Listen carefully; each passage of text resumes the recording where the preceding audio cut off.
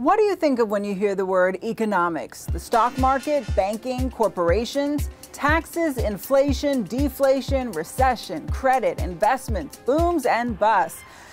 It might be easier to start with your own life. Every day, you make personal choices about how to spend your hard earned money.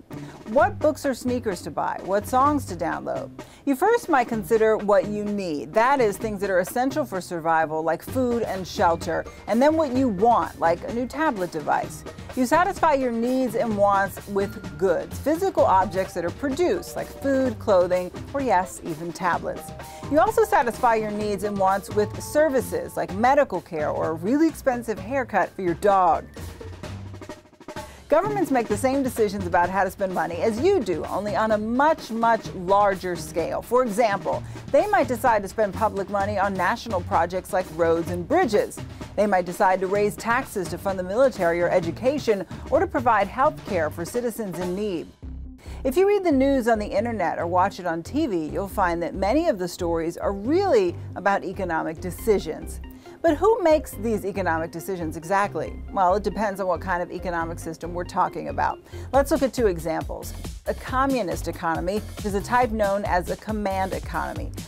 In a communist country, the state owns all the means of production, such as factories and raw materials. The government decides what the people need and should get, and how those goods will be grown and manufactured.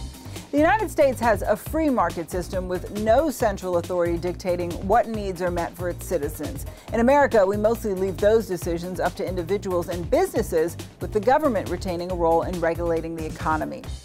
Now we know who makes the economic choices, but why do countries make the choices they do about where to spend money? Let's go back to those needs and wants. People may have unlimited needs and wants, but no one can have everything they need or want. Sooner or later, the goods run out. That's called scarcity.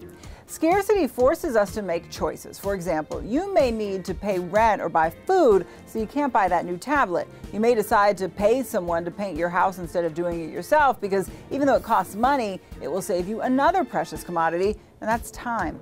Companies make choices too, like whether to hire new employees or upgrade their technology. Governments also have to make hard choices. For example, whether to use tax dollars to fix potholes, improve schools, or hire more police officers. We all have to make choices. Economists call them trade offs, giving up one benefit to gain another, even greater benefit. Sometimes choices don't just involve things you can measure, like money or time. Sometimes we make choices like helping a neighbor that just feel good.